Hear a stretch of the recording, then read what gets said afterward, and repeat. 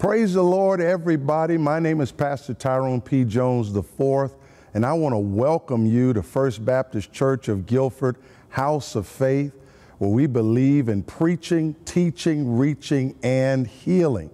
Our director of music has come up with a song that says, We are gathered to worship Him, to lift up our voices in praise. We're glad you have joined us in celebration to God Almighty, wonderful Savior, Lord of Lords, to Him who is the King of Kings. We welcome you to First Baptist Church. Thank you for coming today.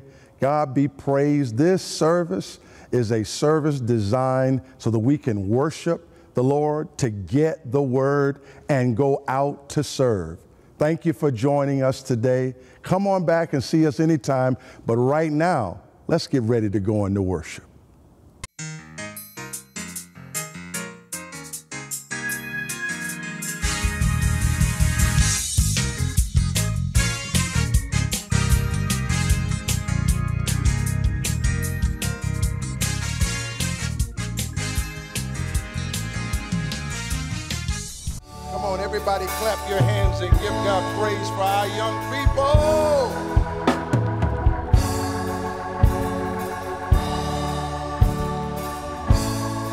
On, clap your hands, everybody, everybody. Hallelujah. Thank you, young people. Y'all are so amazing. You're amazing in everything that you do. And as you honor God in the body of Christ, God will continue to bless you and give you what you stand in need of. Let's give them another hand. Amen. And listen, if you're out there and you want to be a part, come on. Come on. We got room for you. We're going to give you the instruments too. Amen. Let you play. Amen as well. God is so good. There is a word from the Lord, and that word is found in the Gospel of Luke. Luke's Gospel, chapter 18. And I want to read in your hearing verses 1 through 8. In your own personal private time with God, I would that you would read chapters 17 and 18, which make up the context of this message. Luke's Gospel, chapter 18, beginning with verse 1. Are you there? Amen. If not, look on with somebody. Here begins the reading of God's word. Then Jesus told his disciples a parable to show them that they should always pray and not give up. He said, In a certain town there was a judge who neither feared God nor cared what people thought. And there was a widow in that town who kept coming to him with the plea, Grant me justice against my adversary. For some time he refused.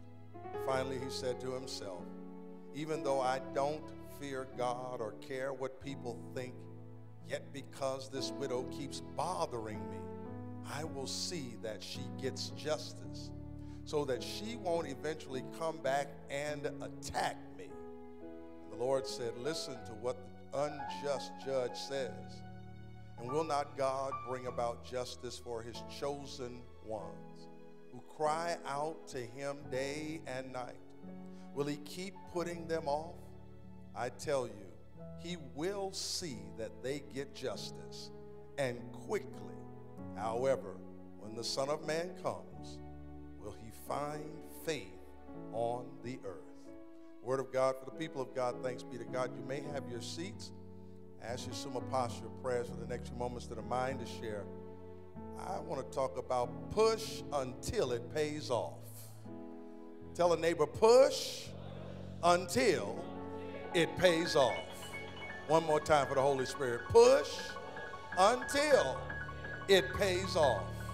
That's what I want to preach.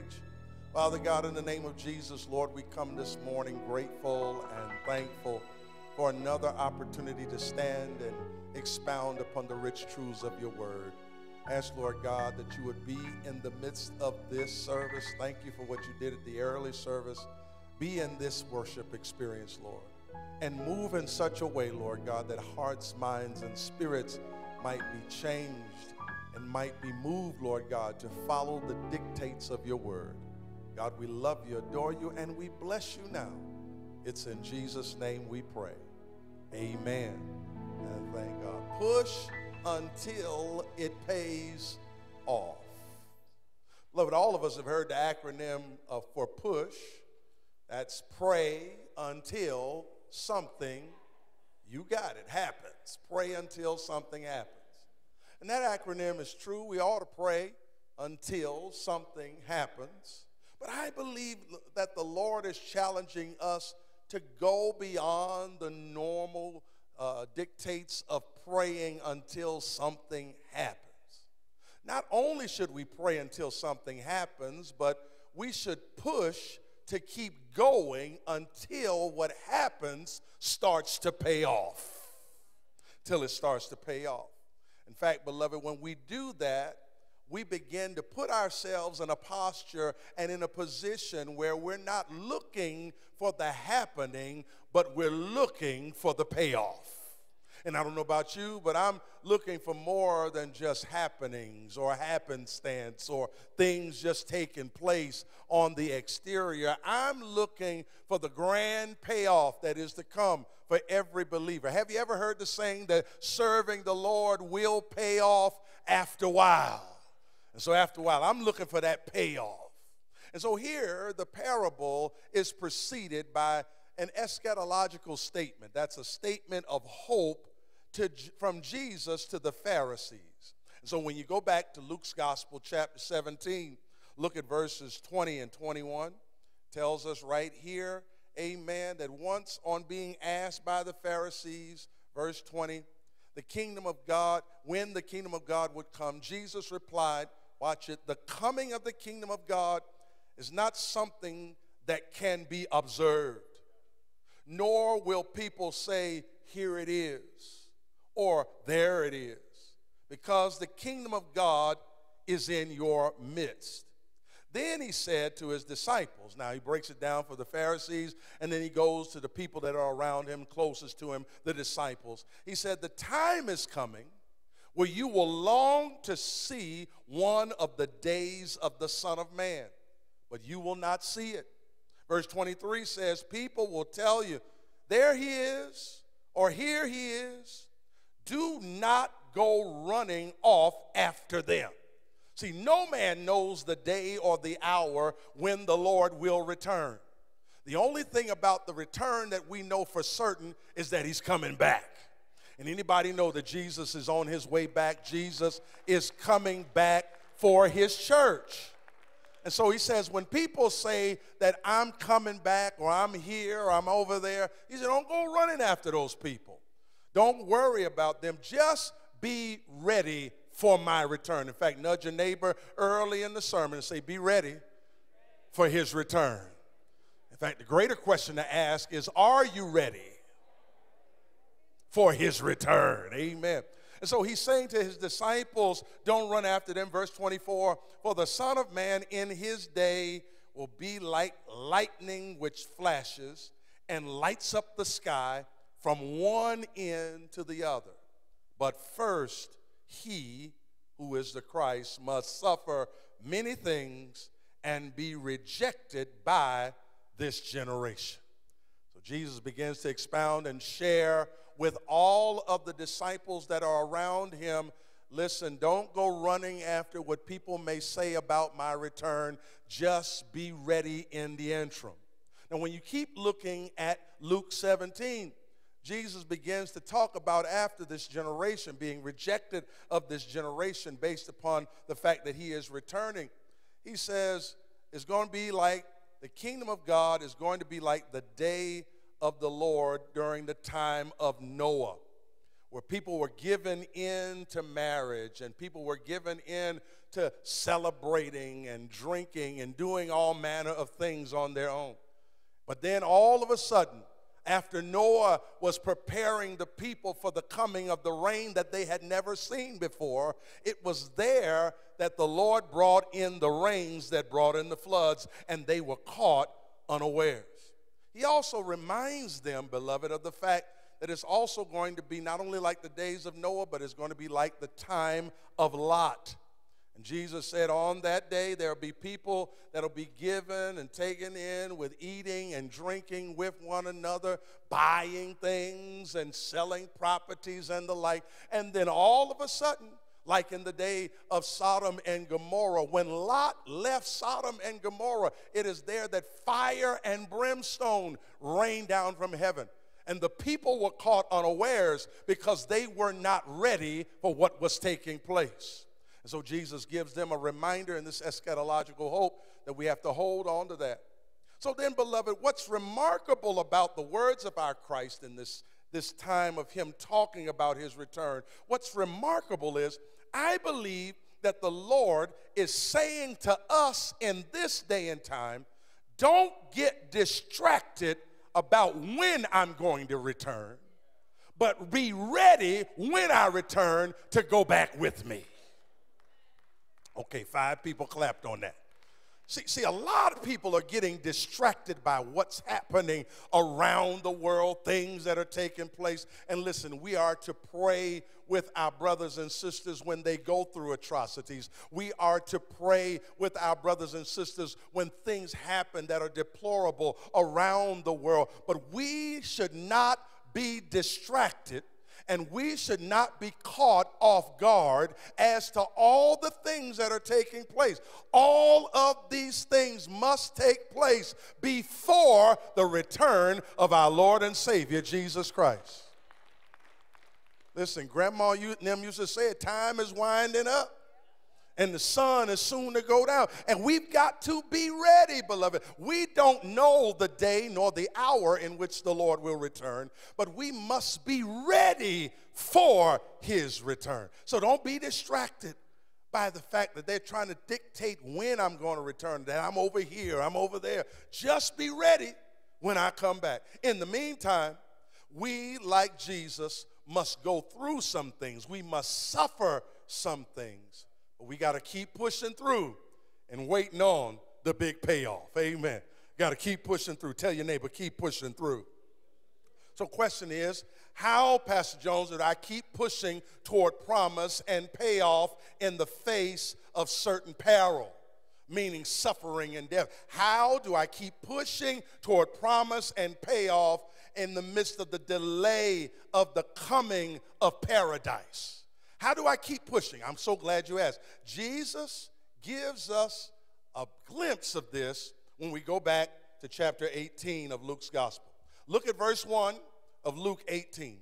Verse 1 of Luke 18 says, Then Jesus told his disciples a parable to show them that they should, watch it, always pray and not give up. Now, your neighbor say, You got to always pray See, I ain't gonna do all the talking. Y'all gonna y'all gonna talk back to me today. Amen. Hey, always pray and don't give up.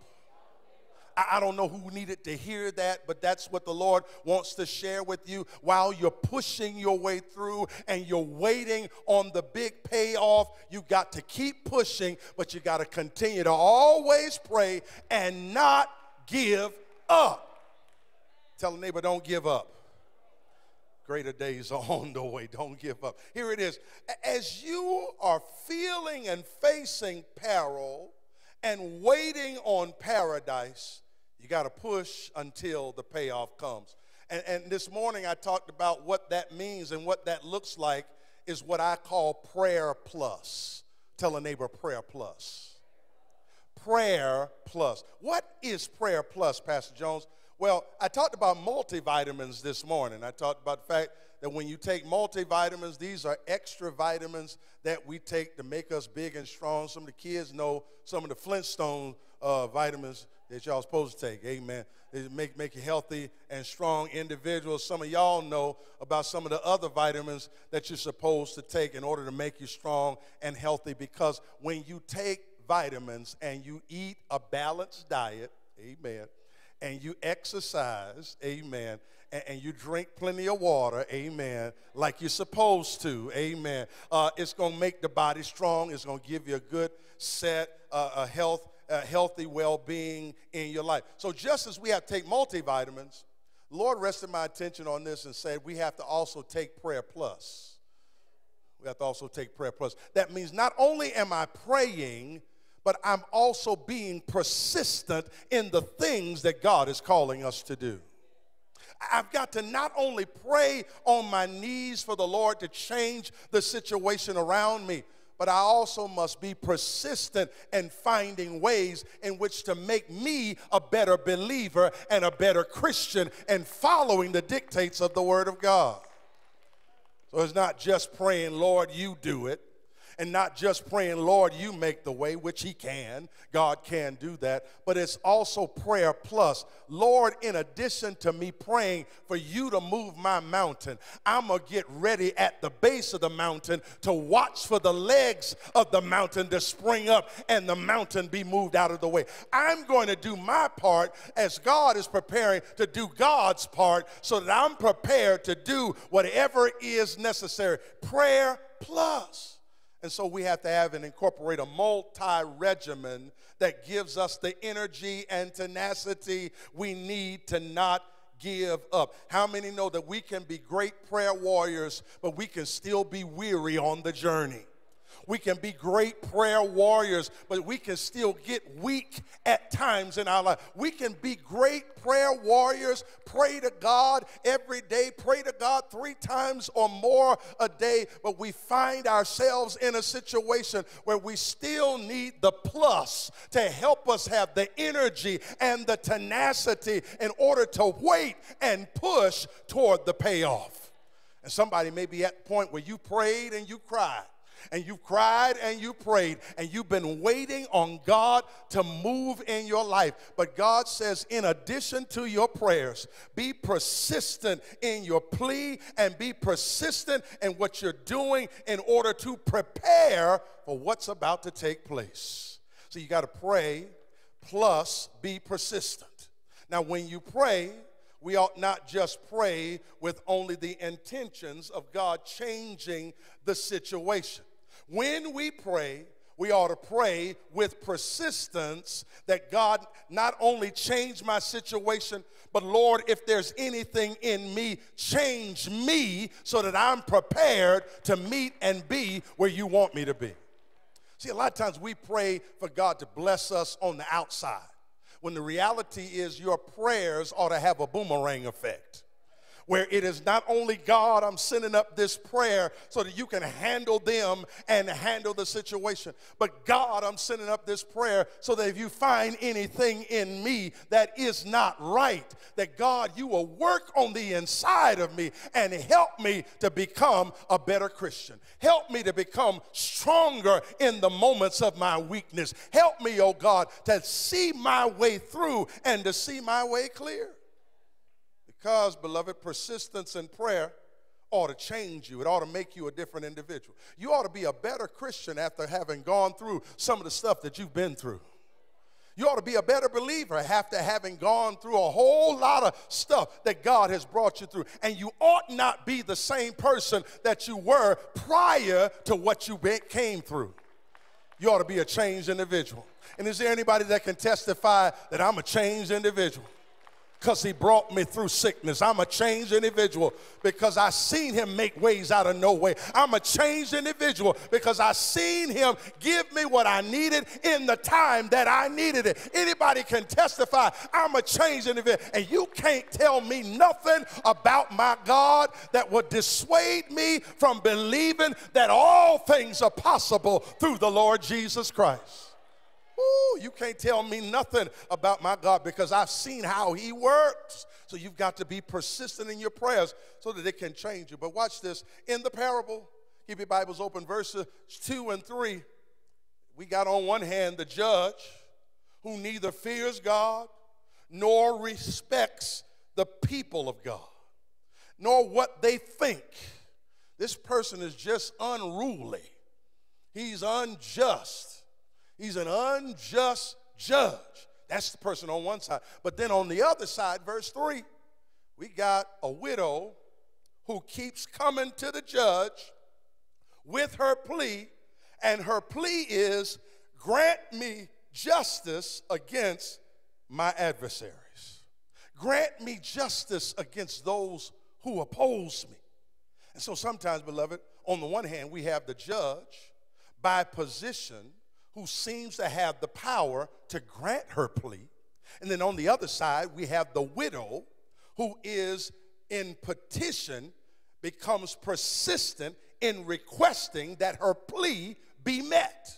So, on the one side, it seems as if the widow needs the judge to bring about justice so that justice can be had.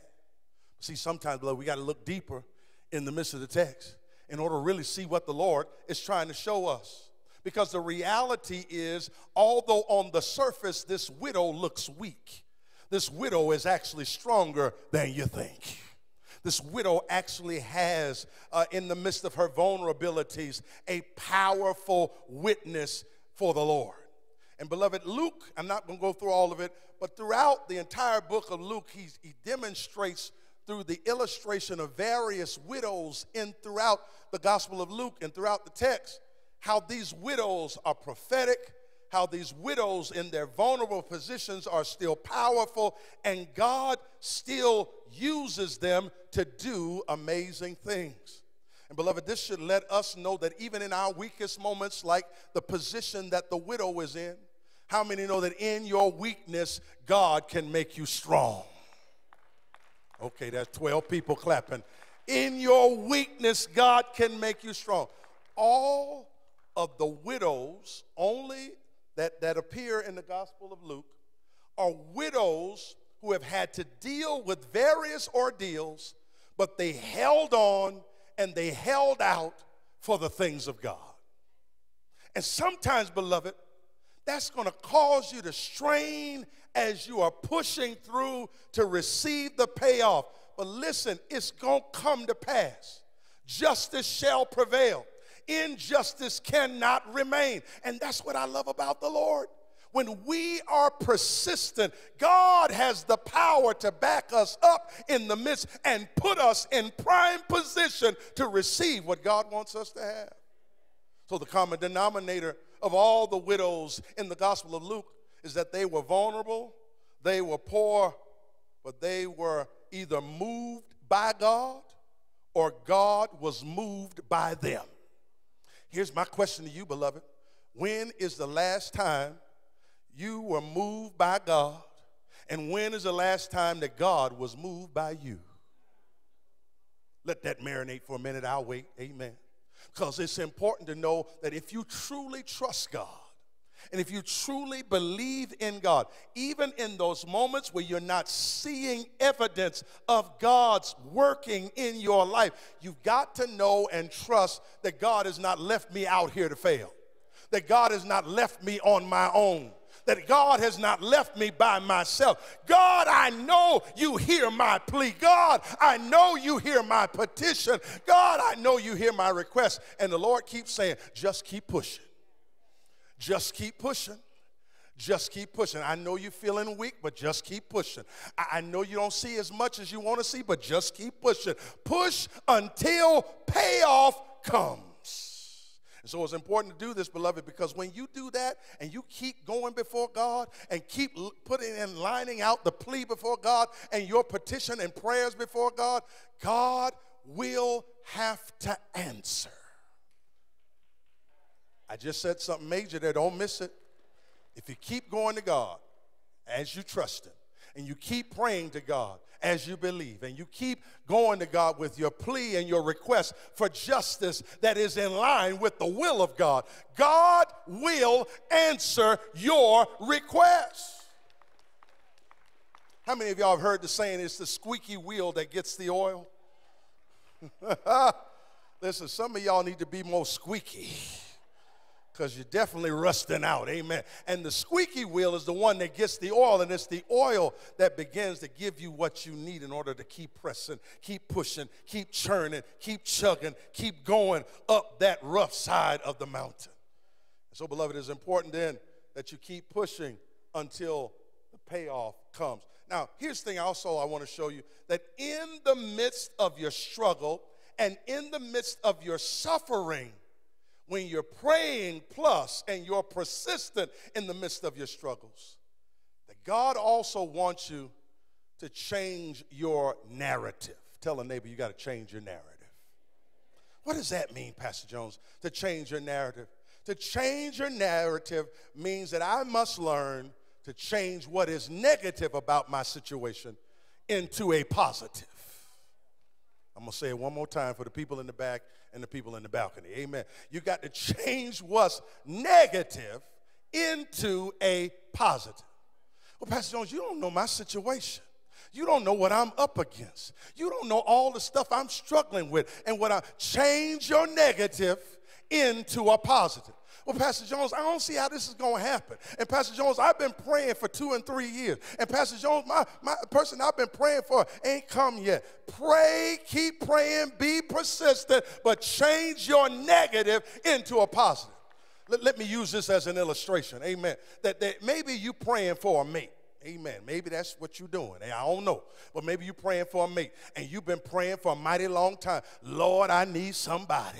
And Lord, I want somebody to be by my side. And Lord, I want somebody to love you, love me. And Lord, Lord, I've been praying and pushing and pushing and praying. I've been holding out. Amen. And holding myself together in the midst of all things. Amen. Y'all don't want to be real this morning. I'm holding out in the midst. And you praying and pushing and pushing and praying. And you praying and pushing and pushing and praying. And it's seems like nothing is happening. But guess what? God says this change your negative into a positive. How do I do that? How do I change my negative into a positive? The fact that you are by yourself ought to be a positive, which means that God has not sent the right person your way yet that you need to be with. In other words, he's uh, filing out them jokers that you don't need to be with, uh, trying to be hugged up with, amen, thinking that you need to be with. And God is finding the right person for you so that when the time is right and you're prepared and you're ready, God will drop them right on you. But in the meantime, I'm going to stay positive because I'm waiting on my boo. Anybody waiting on your boo? Amen. Amen. That's for the unmarried folk out there. Amen. Wait on your boo. Amen. Amen. Wait on the Lord and be of good courage. Change your negative into positive. But you see, your payoff is not only in the fact that God is changing you, but your payoff is also because in the midst, what God will do is He will change you so much so that your enemies will recognize your change. Come on with me, verses 4 and 5. Bible says, For some time this unrighteous judge refused to grant this woman her request. But finally, he said to himself, Even though I don't fear God or care what people think, yet, hallelujah, because this widow keeps bothering me, I will see that she gets justice so that she won't eventually come and attack me. See, what God will do is not only change you in the midst of the persistence of your prayer, but He'll change you so much so that the enemies that are trying to keep you from getting what God wants you to have will have to turn around and bless you with what God has in their hand to give you. In other words, beloved, you got to know and understand that God is making this thing so real that the enemy will recognize just how much you've changed in the midst of your situation. Come here, three Hebrew boys.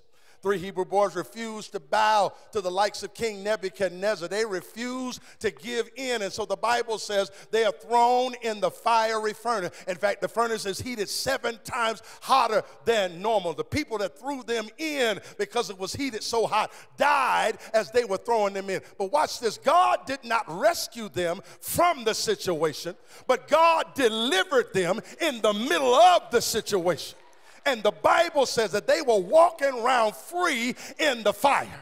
See, sometimes, beloved, what God does in changing you in the middle of your situation is to get a rise and reaction out of your enemies that threw you in the furnace in the first place. Sometimes God puts you in a situation and in a predicament that you don't know how you're going to get out of, and you don't know why you even in this. But God says, I'm doing it not only to change you, but I'm doing it to show your enemies just how much I am God in your life. And is there anybody out there in the middle of your situation, you don't understand why I've been thrown in the fire. It's not just for you, it's so your enemies can recognize the Lord is on your side. Is there anybody that can testify in the middle of my situation that God keeps delivering and making a way for me? Give God some praise.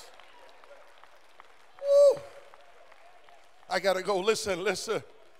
He not only wants to change you through the persistence of your prayer, but you got to keep pushing until payoff because he wants to change and make your enemies recognize the change in you. But then the Bible said that he said, I got to be careful and I'm going to go on and grant her justice because he says, eventually I don't want her to come and attack me.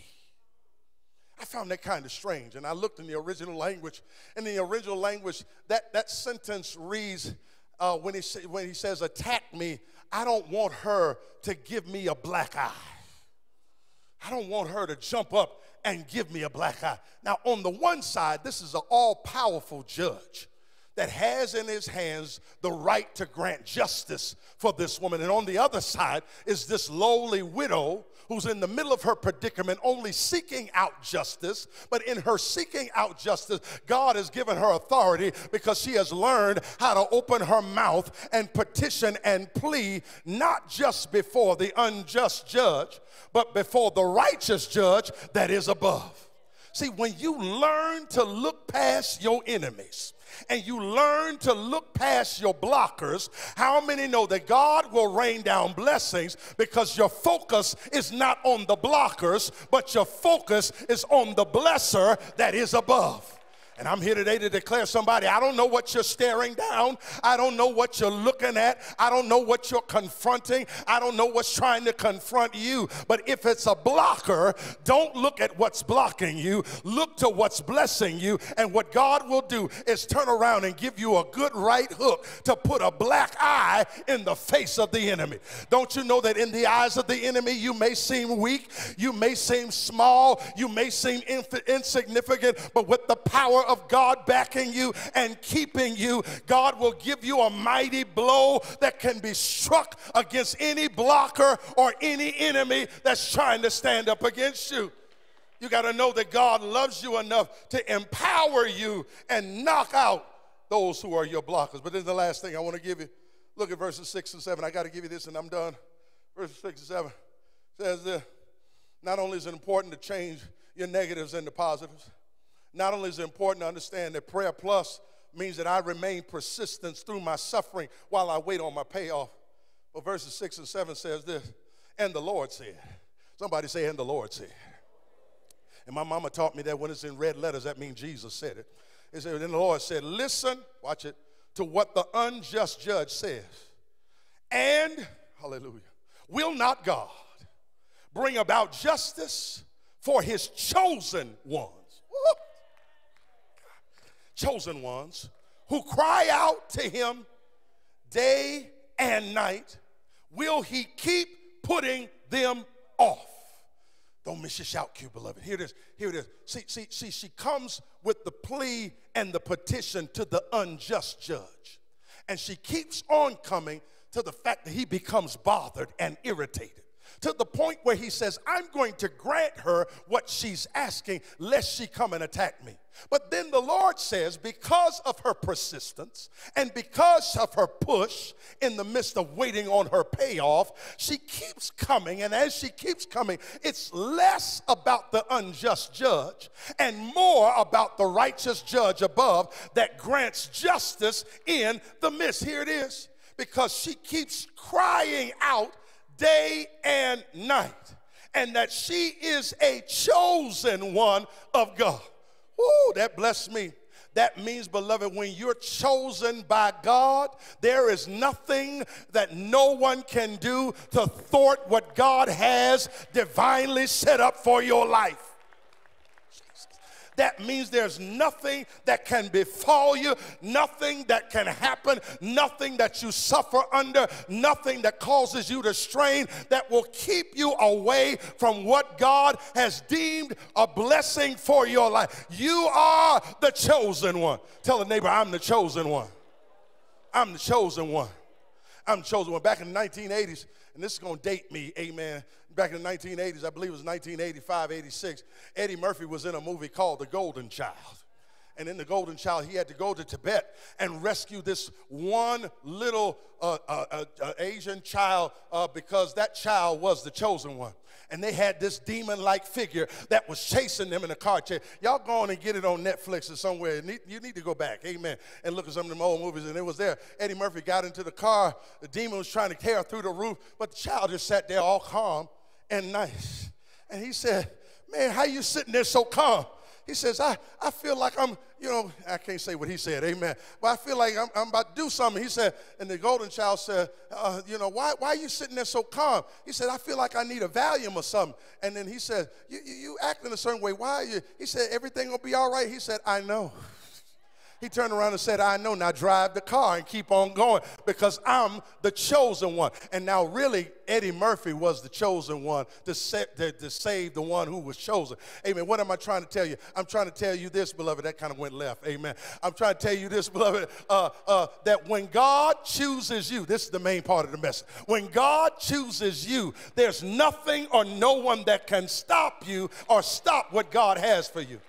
But guess what chosen children do? Chosen children learn how to cry all day and all night. Babies that want to get a bottle from their mama or babies that are looking to be fed by their parents know what to do. They're going to cry out real loud. And when babies cry, parents go to the rescue of their children. Every parent in here has done it. You're going to not let your child cry out loud because that child is a part of you. And if that child is a part of you, when that child cries, you're going to see about the needs of that little child. And anybody glad that we are God's children? That when we cry aloud, God hears our cries and He hears our requests and He comes running to meet us where we are. Aren't you glad that when people try to preclude us from getting where God wants us, that God has a way of blessing us as long as we cry out? And is there anybody in here that has a cry in your spirit that I'm a cry out for God? I say, Lord, I need you right now. Lord, save me right now. Lord, I need your help right now. Lord, keep me right now. Cry out unto God. And listen, none of your pain is wasted wasted. None of your tears are wasted. It may seem like a long time before God begins to answer your requests. It may seem like a long time that you've been pushing and going, but God says, keep going and keep pushing. I'm going to bless you and give you what you need. Can I give you this and I'm gone? The Bible says that for the chosen ones that learn how to cry out, when you know that you're chosen, chosen. That's why you can push until payoff. When you know that you're chosen, I can push until payoff because I know that my prayers will not go unanswered. When I'm crying out to God and I know that I'm chosen, I can pray unto God because God has chosen me and I can pray and not give up. When I know I've been chosen and I'm pushing till payoff, I can pray and God will answer my prayers. I can be in a posture and position to turn my negatives into a positive.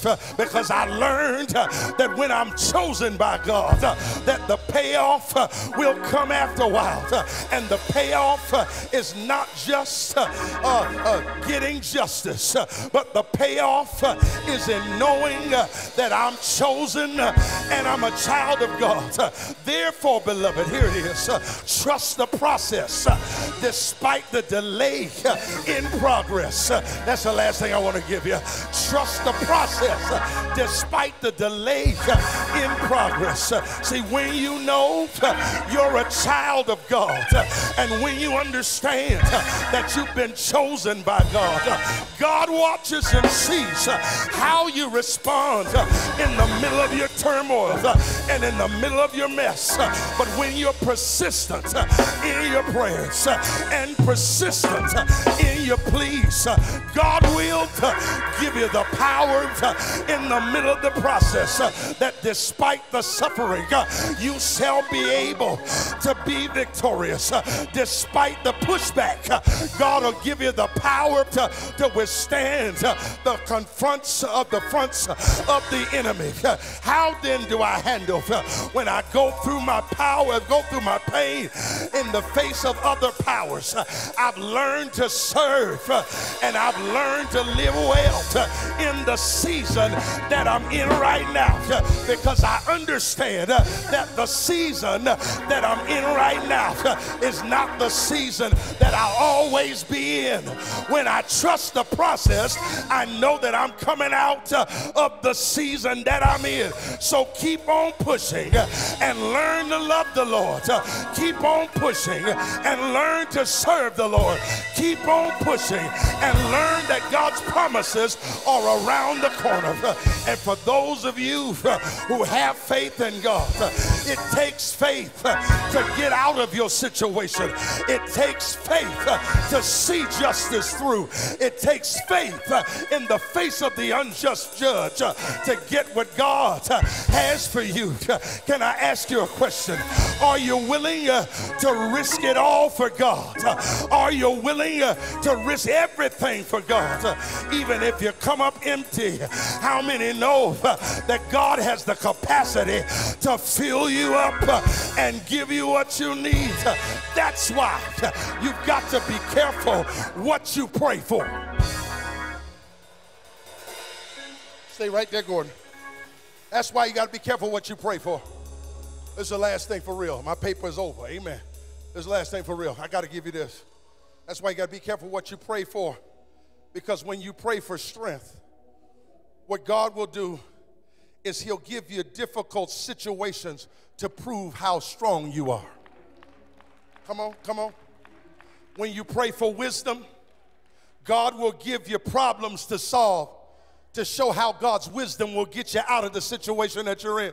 When you pray for courage, how many know that God will give you and put you in dangerous situations that you have to overcome? That's why you got to be careful what you pray for. When you pray for love, God will give you troubled people to help so that in the midst of helping troubled people, you'll see and exemplify the, the love of God in the midst. So, in the end, when you pray, God help me, and when you look back, you will see that your prayers have already been answered.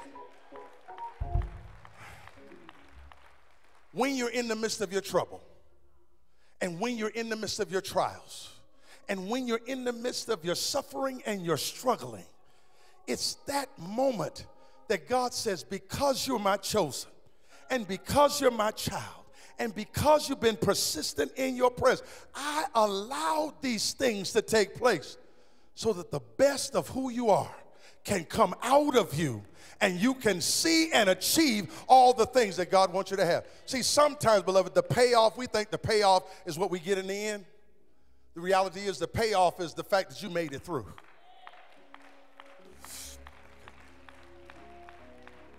It's not that you made it to the other side. That's not the payoff. The payoff is that while I was on my way to the other side, dangers seen and unseen, snares and traps that were supposed to get me, God blocked every one of them so that I can get to the other side.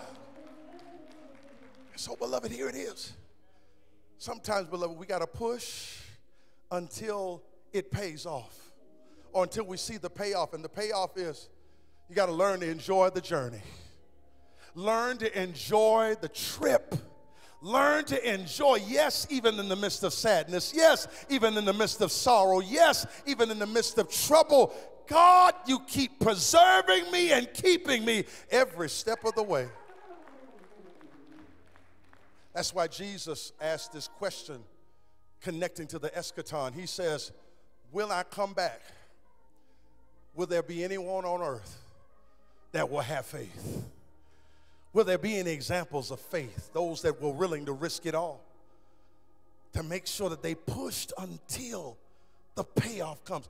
I don't know who I'm talking to out there, but there may be somebody listening under the sound of my voice and say, Pastor, I've been pushing and pushing, but now I'm waiting on the payoff, and I'm telling you that a part of the payoff is through the journey itself that God's going to guide you, God's going to direct you. He's not forsaken you, He's not left you. Just keep crying out.